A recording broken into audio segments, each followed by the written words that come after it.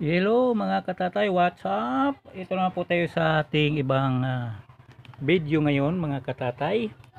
At isi-share ko lang po ah, kung paano tayo gagawa ng pang-exhibit na ah, ship bezel, no?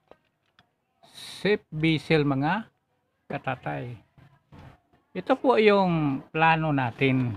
Ito po ay sa totoong ah, pag-build nito ay nagawa na natin ito. Ito ay tinatawag na cargo wooden bezel, no? Ang ginawa nun nito ay kahoy. Ngayon meron tayong ah, tinatawag na skeletal planning, no? Ang skeletal planning natin ito. Ayan. Marami talagang 4x4 ang magagamit nito. Ayan mga katatay, no? Yan. 4x4 na kahoy, yan, no? Palalapit natin ito. Kung ah ito mga katatay, no? Kung magbe-build kayo ng wooden bezel, ito po mga katatay, no? Ayan. Itong ribs na ito, side ribs tawag nito sa planning, no? Ay puro nakapako 'yan, ayan. Itong deck niya nakapako ng ah flat head na ah boot, no? Pang pang malakihang ah bezel wooden bezel ayan po ayan o ito po ang top view. Top view no? Ang tinatawag na balancer o kelya ito po mga katatay balancer tinatawag na balancer ayan.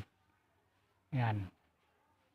So ang gagawin yan yung mabigat na kahoy o hardwood na tinatawag na ah, magkuno. Ayan. Dito po, ang tinatawag, ito po ay tinatawag dito ah, propeller ah, foundation propeller no? ito hanggang sa loob yan diyan at ito naman ang sa under ribs. Ayan. Tinatawag kung sa Bisaya, kinutsara. Dito. Ayan, no? Ang ribs na ito mga katatay, kung ilan ang haba ng barko mo, so, marami din ang ribs, side ribs na to, side ribs, no? Side breeze. Yan. Kudastri. Kung sa Bisaya, kudastri. Okay. Ito, kung tawagin ito ay center ribs o kilya. Yan, no? Center ribs. Yan po mga katatay. Ayan, papuntin sa ah, dito sa Sibriker. Si breaker po yan. Kung sa Bisaya, pamalong or pamawong. Ayan. Ngayon, gagawin natin ito mga katatay bilang ah pang-exhibit. No? Ayan. Pero, tatapusin ko muna itong ah, aking i-explain sa inyo kung paano ayan no pagkatapos ng uh, skeletal ayan no nakikita nyo skeletal. Si guide uh, si guide ito ang gumagalaw pag nagda-drive ang piloto nito no? Kasi mayroon itong pilot house. Ayan o, papakita ko sa iyo. Pagkatapos ng ah, skeletal, tatapalan na naman yan ng ito. Ayan mga katatay, no? Tatapalan naman yan ng dos ang kapal. Dos ang kapal nito na tabla or tuog. Ayan, tinatawag ito na intable. Intable mga katatay. Ayan o, pinagdugtong-dugtong lang yan. Kasi pinapako lang yan dyan. Intable. Yan, hanggang dito sa ah, unahan, no? Sa sibreaker. Ayan po. Kaya ganyan ang format niyan, mga katatay. Kahit anong bezel, basta ganitong forma, ganyan din ang skeletal niya, no? Yan. So, intable. Habang gumagawa ng intable, iba naman yung gumagawa dito sa pilot house na tinatawag. Yan. Oh. Ito, dito mga katatay, oh, bakit may mga butas-butas ito dito sa dik, no? Kasi, ito yung labasan ng tubig. Kasi ito dito na label, sahig na yan. Yan, yan, yan, na label yan, no? Sahig. Oo. Kaya, pag umuulan, dito, ang tubig dadaan. Dito. Yan. Oo.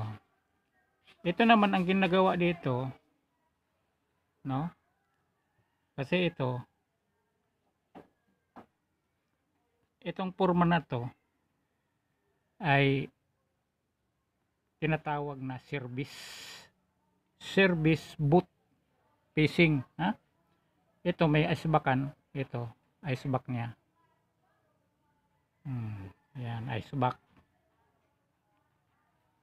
dito yan pati rin din sa ano sa kanyang sahig yan ang forma oo yan sahig niya. So top view to ha? Top view ito ang icebakan niya. Ayan mga katata icebakan Ah, anim na kwarto. Ang icebakan mga katatay ayan. So ito ay naglalaman lahat ito ng taga 5 to 6 tons no? 5 to 6 tons. Ano yung 5 to 6 tons? 5,000 to 6,000 kilo. Ito ito to oo. So yung iba no kung mahaba ito kung malaki ito gagawin kung aabot ito ng ang haba nito ay ah 1.5 ang haba 105 o 1.5 no? 100 malaki na ito ha, lal- ang ang laman nito ay aabot ng 12 tons o 10 tons. So yan ha? Oh yan po. At ah, ang forma niyan mga katatay pagkatapos niyan ah, ang ganitong forma din ito ang tinatawag na self boot or unay. O may palo. Kasi ito ang ah, nag ano ng isda nang huhuli so pagkahuli sa isda ita-transfer doon sa service boat ayan no? Ayan. Service boat itong cargo boat ayan. Pwede rin to gawin ng service boat lalagyan ng ano dito ice box. Oh, kaya lang itong cargo bakit tinatawag na ah, cargo eh kakargahan lang ito ng mga yung mga simento, bakal, yung mga other ah, construction material dito. Oo. Ngayon, paano ba ito i-install? Ganyan. Kukuha ka ng ah Coco. Ayan.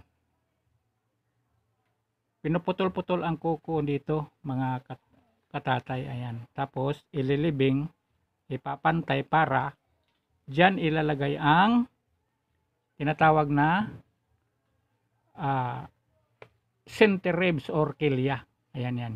Hmm. Habang nagpapanday dito, habang nagbe-build, kailangan mo rin ng brace dito mga katatay. Kailangan mo lagyan ng brace ang bawat gilid. No? Yan. Ito. Saka yung iba, ang nilalagay dito, dito sa gilid, yung mga sinaking na buhangin. Oh, nagsasaking ng buhangin, dito nila ilalagay diyan sa dito habang nagpapanday. Habang binubuo, dito nila ilalagay ang sako.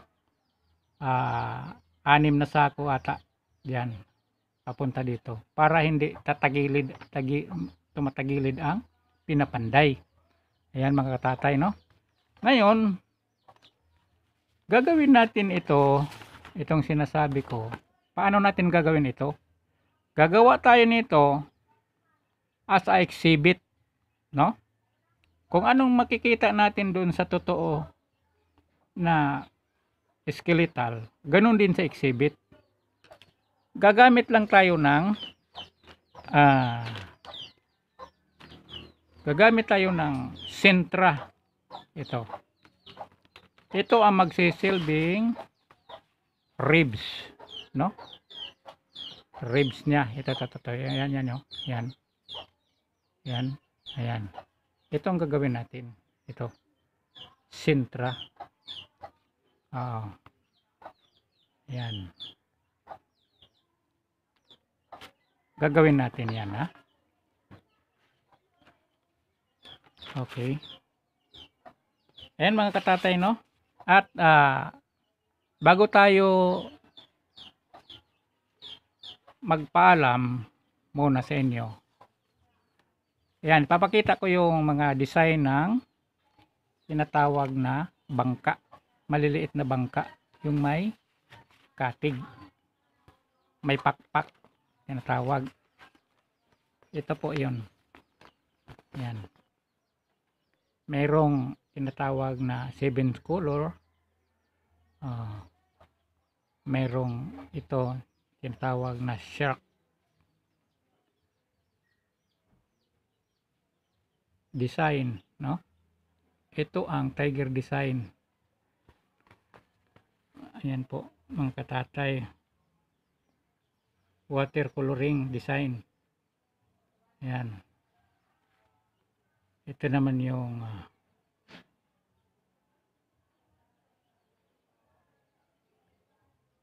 ah, tinatawag dito na eagle. Eagle ah, design. Shark design. Yan color colored no giraffe design yan yan mga no yan ang ginagawa natin pag nagpipintura tayo ng mga bangkang maliit. Oh, the blood design ito.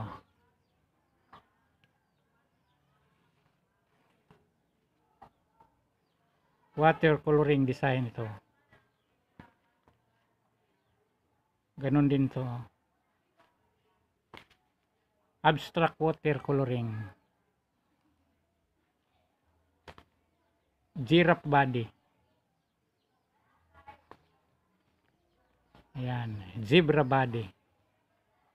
Tiger body. Ito naman na yung blending body. Ayan po mga katatay. No? At ito pa. Marami pa. Blending and flat color. Tawag niyan. No? Ayan. Nagdandahan siya pag nail green. Ah, flat color, brown. Sea coloring design with piece. Ano? With piece. Okay. Flat coloring with narfly. Yan. Octopus sea design.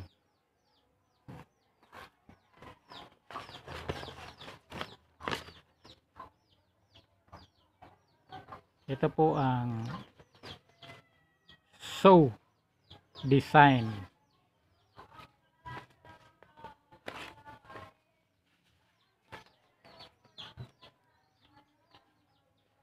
Sharp sharp ah sharp sharp burning design. Ayan. Sharp burning design. Ah abstract water bodies. Ayan. Instinct color. Instinct color mga katatay. Ayan po, no?